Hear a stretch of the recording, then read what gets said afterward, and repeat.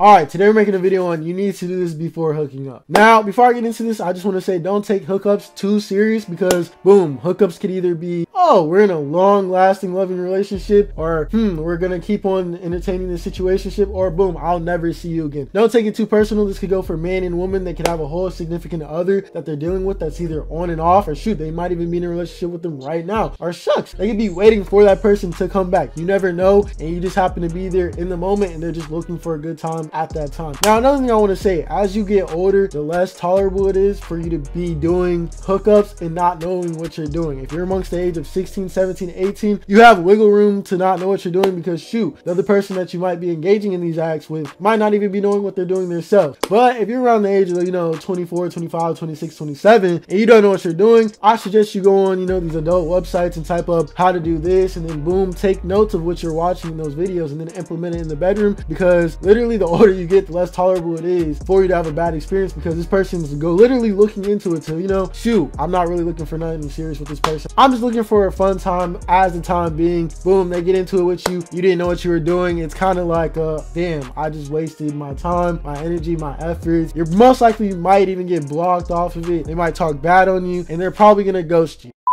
All right, so let's get into the video. All right, you need to do this before you hook up. Now, I can't stress this enough. If you know that you're going out and there's a possibility that you want to bring someone home later on, your home should be clean. Now, when I say clean, it don't have to be spotless, but it should never be no like food, no food bags from the previous nights, no cups, nothing in your house. Your house should be clean of anything of that type of stuff where it has to do with food. Now, me personally, when it comes to shoes could be thrown here and there. Your bed doesn't even have to be made up for me. As long as your room just looks lean and presentable and it's not nothing filthy or, you know, dirty to the extent of I look at it and I'm like, ew, this is dirty and the room should smell fucking fresh. I have cannot stress how many times that I went to a female's house. It's only happened twice. I went to a female's house twice and they'll have a litter box. Now I see that they have a cat and I see that there's a litter box, but I do not want to be engaging in bedroom activities, having to smell the litter box the whole time that we're engaging in that activity. It's literally a turn off and you can't really think about nothing but the goddamn litter box smell and I don't want to smell that. What you should do if you have a litter box is literally clean the litter box out, spray some Febreze, and then have someone come over. And another thing is, this has happened to me personally. You should not have bed bugs, roaches, rodents, or anything of that type of nature in your house and trying to invite someone over. You should get that sorted out before you go out there and invite other people over to come to your house for a bedroom activity. Because there's no reason why I should have went in this shorty's bed and got bit up by bed bugs and left and sat there and said, what the fuck is on my arm? Why do I have these bites? And looked it up on Safari and be like, oh, these are bed bug bites and literally said, ew, this is disgusting. I don't know if she knows she has bed bugs. Shoot, she might know, she might not know. Still, that is utmost disgusting. And she said something along the lines of, next time we got to do such and such. And in the back of my head, I'm like, there will be no next time because this is utmost disgusting and I will never come back in your house off the simple fact that I have bed bug bites on. So if you have anything amongst bed bugs, rodents, roaches, rats, don't invite people over to your house. Another thing that I say, first impression is everything. You don't want to come into a hookup smelling like fucking shit. You don't want your breath smelling like shit because think about it like this, bro. There's been instances where you've been out there on the street or you met someone new and their breath stunk or they're musty or they smell like shit. Now, after every time someone brings that person up, they're gonna be like, oh, you know Joseph? And in your head, you're gonna be like, oh yeah, Joseph, the musty nigga. Oh, Joseph, the nigga with the stink ass breath. Joseph, you know, oh yeah. Make sure if you're going into a hookup that you're clean and you took a shower, you're fresh, you smell good. Because I'm trying to tell you this right now. You don't smell good, it's gonna be a turn off to the other person, and they're literally gonna remember you by that. There will be no, oh, them hitting you up because that's your first impression. Your first impression is everything. And I wanna go as far as to say this. I can't really sit here and, you know, have double standards because me personally, I don't like to shave because I don't like the prickly feeling of a fresh shave, but I do trim. And it's all preference. People, you know, they don't really care about hair. Other people do care. It's up to you to take that risk. Me personally, sometimes I don't even trim it. And half the time, you know, I don't really have a complaint. But me personally, I don't really care about hair. It's up to you if you want to trim or whatever. Just make sure everything else is fresh, clean, ready to go. And two, another thing is, if it's possible, you don't have to do this, but you can. You can talk to the other person and get to know what they like and what they don't like. And what you really want to do is make sure they're comfortable with you before getting into a hookup. You don't want to just go into it, rush into it because it's going to sit there. It's going to be awkward. It's not going to be the best. Not going to lie, the first time is always the most awkwardest and it's not really the best compared to if you do it over and over and over again because you tend to get more comfortable with that person. So what I'll do going into a hookup is try and make them feel as comfortable as possible, you know, whether that be playing games or, you know, doing simple icebreakers before you get into the act because the more comfortable they are, the more they're going to be feeling it before y'all just hop into it. That's pretty much everything that I feel like you should do before a hookup. And with those, you're guaranteed for success for them to have a good experience with you. Then now they might not hit you up, but they might hit you up later months down the road if they want to experience that same experience again. You never know.